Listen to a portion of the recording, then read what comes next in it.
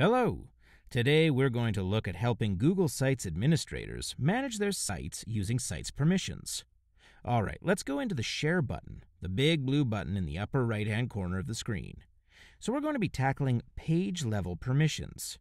Now, you're probably already familiar with normal permissions, where you add an email here and make someone an editor, able to comment or to view. But page level permissions are a little more complex and allow you to be a little more accurate and provides more micromanagement ability in terms of who has access to which pages. So let's enable that here by clicking on the Enable Page Level Permissions button in the upper right hand corner of the screen. Here you'll get a little warning, and there will also be a link to a Getting Started guide on page level permissions.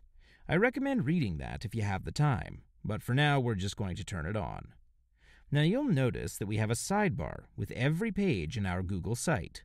So from here we can lock down a page or a branch of pages simply by clicking on this Change button up here, selecting Use Custom Permissions, and then there are two options here where you can add new users to this page, or you can choose Do Not Add New Users to this page to isolate it.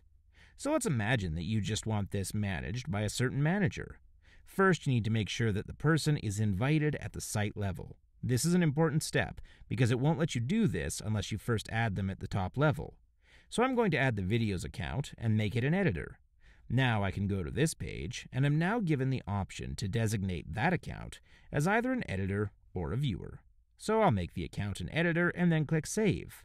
I can even make this private, so now only me and the video's account will be able to even access this page.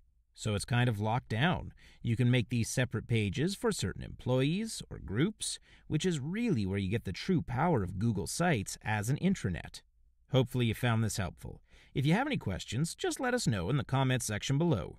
Thanks for watching, and have a great day.